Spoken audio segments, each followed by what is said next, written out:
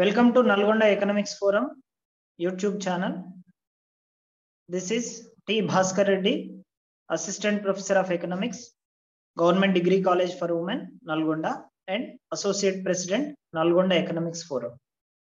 In our previous classes, we have discussed about the price determination under perfect competition market and changes in equilibrium price in perfect competition market due to changes in market demand and changes in market supply and changes in both market demand and market supply గత క్లాసులో మనం సంపూర్ణ పోటీ మార్కెట్లో సమతౌల్య ధర ఏ విధంగా నిర్ణయించబడుతుంది దాంతో పాటుగా సమతౌల్య ధరలో ఎలాంటి మార్పులు వస్తాయి మార్కెట్ డిమాండ్ మారినప్పుడు సమతౌల్య ధర ఏ విధంగా మారుతుంది మార్కెట్ సప్లై మారినప్పుడు సమతౌల్య ధర ఏ విధంగా మారుతుంది? అదే విధంగా మార్కెట్ డిమాండ్ మార్కెట్ సప్లై రెండు మారినప్పుడు సమతౌల్య ధర ఏ విధంగా మారుతుంది అనేటటువంటి విషయాలు చర్చించుకున్నాం.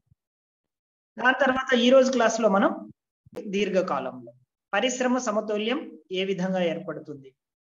సంస్థ సమతౌల్యము పరిశ్రమ సమతౌల్యము సంపూర్ణ పోటీ మార్కెట్లో ఏ విధంగా ఏర్పడుతుందో ఈ రోజు మనం తెలుసుకోబోతున్నాం. So in this class we are going to know about equilibrium of the firm and industry under perfect competition market. This is the long run equilibrium. So what is the difference between the uh, short run equilibrium and long run equilibrium? అక్కడ normal profit ఇక్కడ normal profit అక్కడ normal profit గ్రాఫ్కి ఇక్కడ normal profit గ్రాఫ్కి difference చెప్పండి చూడండి ఇప్పుడు SA స్వల్పకాలంలో సంస్థ సాధారణ లాభాలు పొందుతూ సమతుల్య స్థితికి చేరుకున్నప్పటికీ దీర్ఘకాలంలో ఎలాగో సాధారణ లాభాలే ఉంటాయి. దీనికి ఈ రెండింటికి గ్రాఫ్స్కి డిఫరెన్స్ ఏంటంటే సేమ్ ఉంటాయి అంతా. ఒక్క ఏసీ రేఖలు తప్ప. ఎస్ఏసి ఎస్ఎంసి మనం పర్ఫెక్ట్ యూ షేప్లో గీస్తాము. కానీ ఎల్ఏసి ఎల్ఎంసి కొంచెం ఫ్లాటర్గా గీయాలి. మనం చెప్పుకున్నాం కదా ఇంతకుముందు ఎల్ఏసి రేఖ కొంచెం బల్లపరుపుగా ఉంటుంది సాసరాకారంలో ఉంటుంది ఎన్వలప్ కర్వ్ అంటారు ప్లానింగ్ కర్వ్ అంటారు. సో ఎల్ఏసి ఎల్ఎంసి ఫ్లాట్గా గీయండి. LAC must be tangent to the AR curve AC రేఖ దీర్ఘకాలిక సగటు వ్యయ రేఖ సగటు రాబడి రేఖకు స్పర్శ రేఖగా ఉండాలి. సో ఇక్కడ అన్ని సంస్థలు సాధారణ లాభాలు పొందుతూ ఉంటాయి. ఓకే సారీ uh, ఇక్కడ uh, ఒక ఫర్మ్ చెప్పుకుంటున్నాం కదా ఒక సంస్థ సమతుల్యం కాబట్టి దీర్ఘకాలంలో సంస్థ సాధారణ లాభాలు పొందుతూ సమతుల్యంలో ఉంటుంది. ప్రతి సంస్థ కూడా ఇదే పరిస్థితి వస్తుంది. అసాధారణ లాభాలు సాధారణ నష్టాలు ఉండవు. సాధారణ లాభాలు మాత్రమే ఉంటాయి. సో ఇక్కడ టిఆర్టీసీ సమానం. చెప్పండి టోటల్ రెవెన్యూ ఎంత చెప్పండి ఇక్కడ?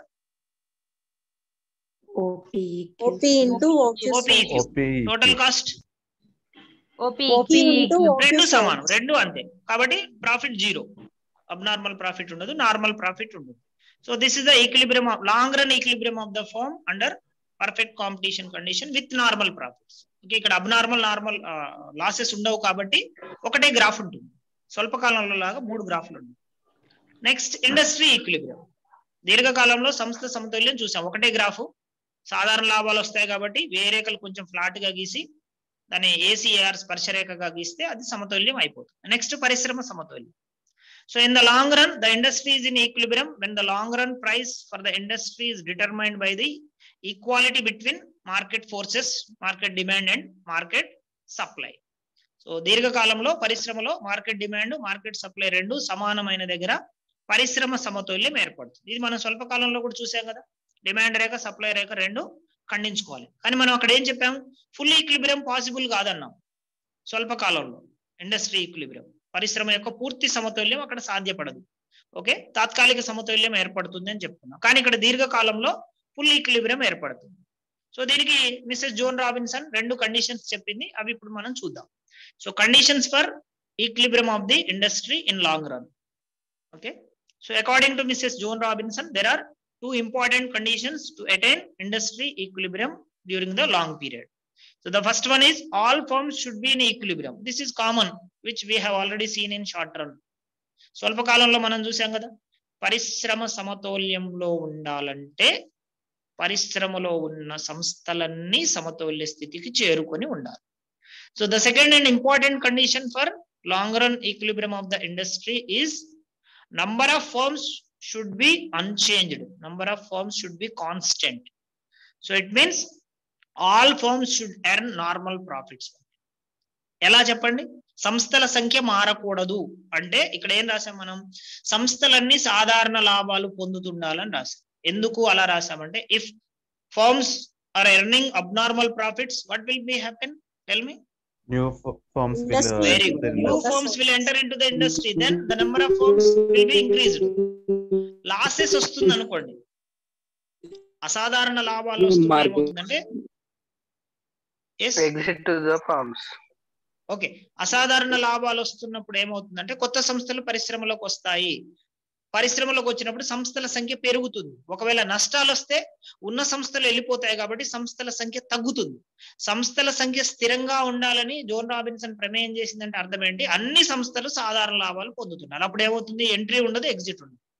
కొత్త సంస్థలు రావు ఉన్న సంస్థలు పోవు.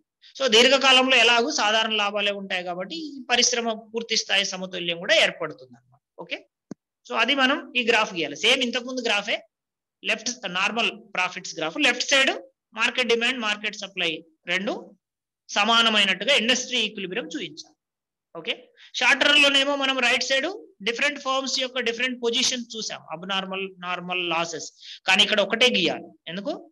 During the long run all firms will earn only normal profits so then only the number of firms will be stable constant unchanged దీర్ఘకాలంలో అన్ని సంస్థలు సాధారణ లాభాలు పొందుతూ ఉన్నప్పుడే సంస్థల సంఖ్య స్థిరంగా ఉంటుంది.